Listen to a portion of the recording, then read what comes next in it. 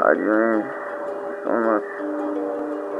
I just can't seem to find an answer to what I'm looking for in general. I can't keep living like this. It's breaking my heart bit by bit. I mean, who's to say?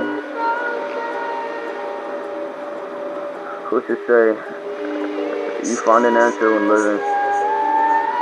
What if you just die? What if life as we know it is all a game?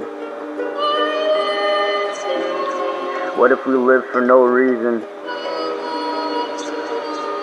What if you just disappear when you die? Should I cling to life? Or should I just kill myself? So many contradictions, contemplations. It's getting harder and harder to mask my pain. I can't tell if I want to live or if I want to die.